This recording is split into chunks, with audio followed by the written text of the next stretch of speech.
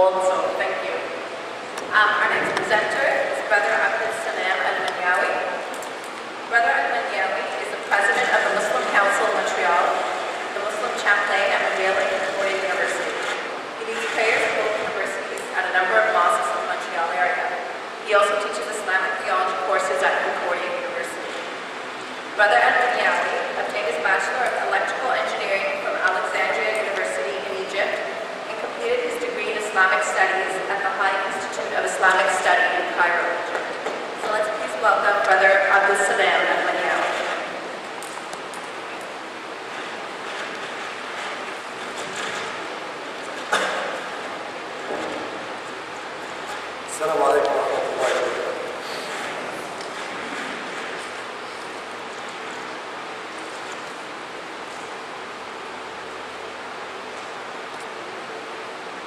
الحمد لله والصلاة والسلام على رسول الله وعلى آله وصحبه أجمعين.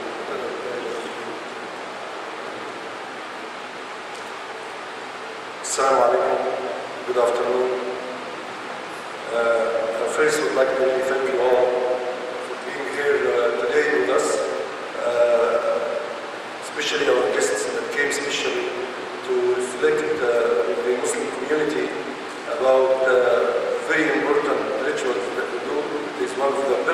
Islam.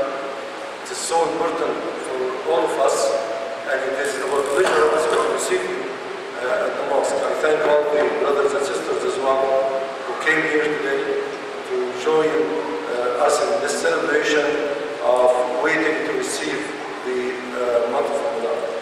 Your presence, uh, in fact, today is again an indication of the quality of this country we live in, the values we have that were able to transcend the artificial limits we sometimes put around ourselves as to differentiate between people because of religion or because of color or because of race or because of background. That by coming today, it is really uh, appreciated because it just again manifests those values and the fact that we're really lucky to be Canadian, all of us. Uh, to part of this value is also part of the luck that we have is the fact that we're about to receive this holy of Ramadan.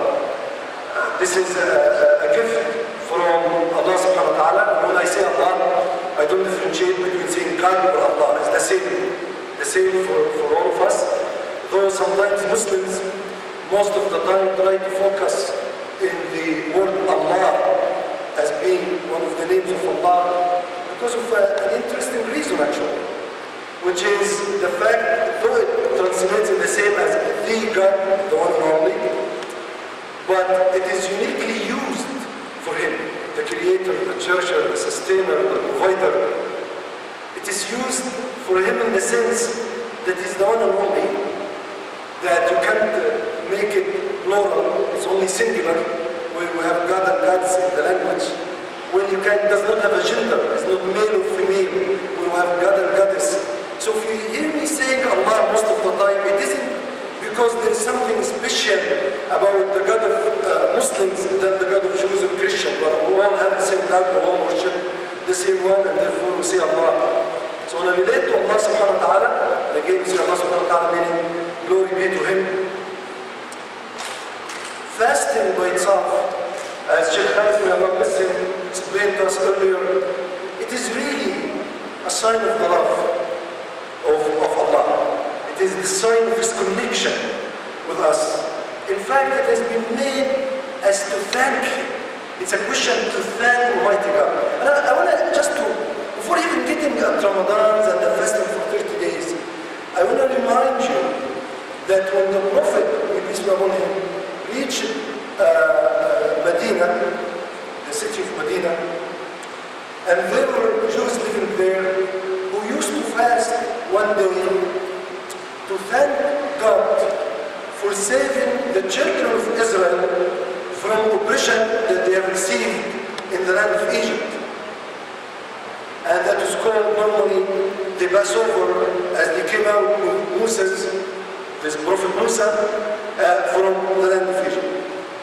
Prophet Muhammad in this way also ordered us to fast to thank God Almighty for saving the children of Israel from the land of Egypt, but not only one day, but two days.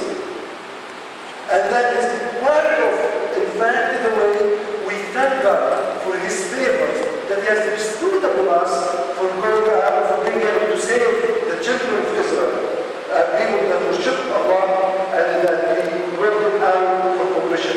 Today, when we look at it, we also thank Allah for bringing us this one Quran in our hand as a manual, as a way of how to live our life, as a way of finding out the good and the bad, the moral ways that we should do, how we respect our neighbors, how we have to be just with one another, regardless of the faith of the other person. That justice should transcend any limits, and that the connections with other people, friendship, should always be open to all people within our neighborhood. So I think this is very, very important. When I look today at fasting itself, I say, look at why we connect it as being this total love.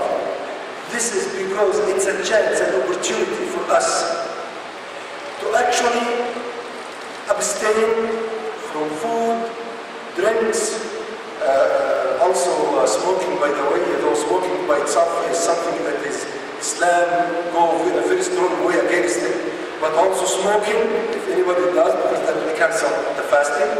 Uh, sensual desires, related to this, rather when it comes to intercourse, but rather it is sensual desires, and all misconducts at that period of fasting. When we look at this, that directly points toward the fact that we have not only to control, but use our willpower and our, uh, to restrain ourselves and to have discipline in relation to our desires, whether it is food, an intake desire, or sexual desires. To be able to do this successfully, that brings this love of God right within our heart as we are, He chose the way and we were able to do so, it shows success. It gets us to know that we have done something, that we have been ordered and we obeyed, that we have been asked and we responded.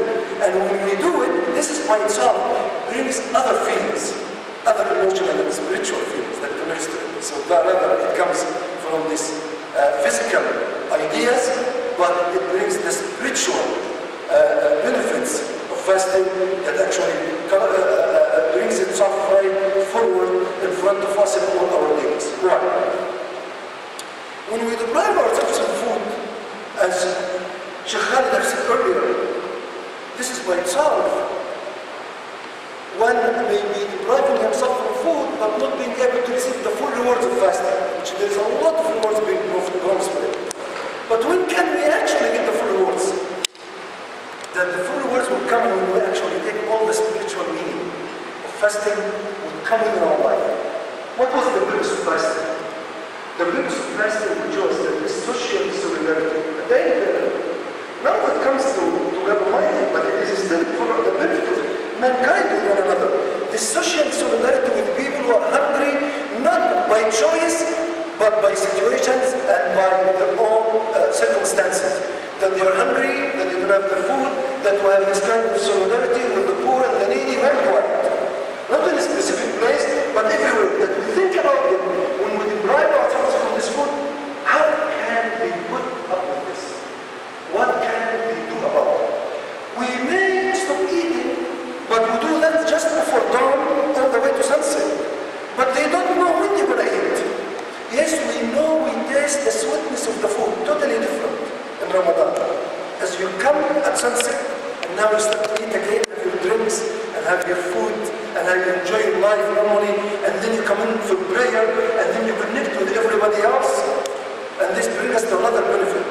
But the key issue, how did those who didn't have others to help them, how did those who didn't have the food on their table, how did they act, how, what did they do in the whole year, only in Ramadan, but? This is why Muslims are required to celebrate